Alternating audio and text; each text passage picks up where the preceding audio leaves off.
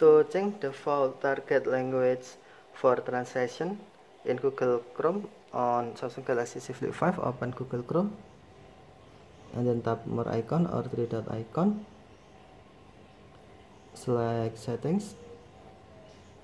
And then scroll down the screen. Tap languages. Tap uh, advanced drop down menu. And then select translate into this language for example Indonesia or English.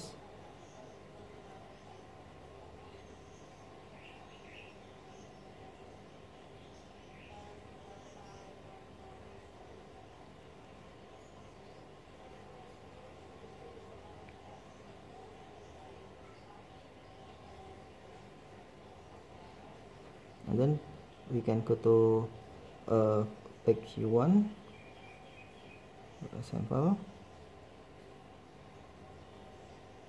and then you can see translate back to English. Oh sorry. Translate uh, translate back to English. You can tap uh, more icon and then translate and then you can see translate to English and then tap translate uh, Japan to English if you want translate or undo.